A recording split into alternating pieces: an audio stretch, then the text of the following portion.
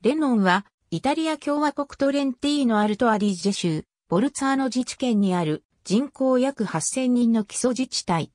ボルツァーノ自治県の中央部に位置するコムーネ。レノンとボルツァーノは、県道とロープウェイで結ばれている。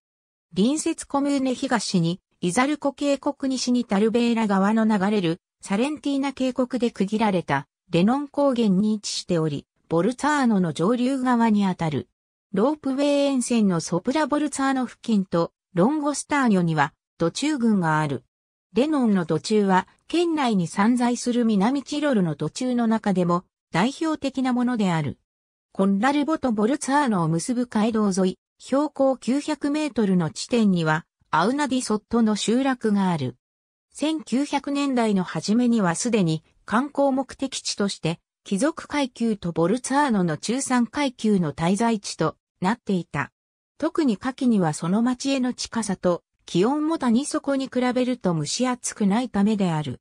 スポーツ施設については、コンラルボにはスケートリンクが、さらに登ったコルノデルレノン山ではスキー場がある。冬には、さらに凍ったコスタロバーラ湖上でもスケートが可能である。国際的にも展開する企業として、ウエハースなどで知られる、製菓業のローカ、建具製造業のフィンストロール、寝具製造業の同年ステップの3社がある。この3社はいずれもアウナディソットに本拠を置く。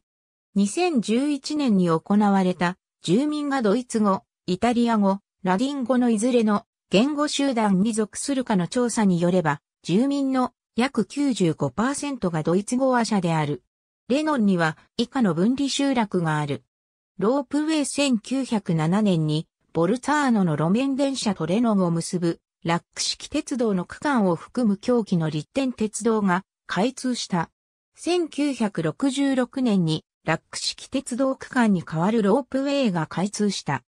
レノン内のラック式鉄道以外の区間は現在も稼働中であり、集落、マリー・アスンタとコンラルボを結び、ロープウェイの山側駅があるソプラボルツァーノや100メートルほどのコスタロバーラコステラなどを通る。ありがとうございます。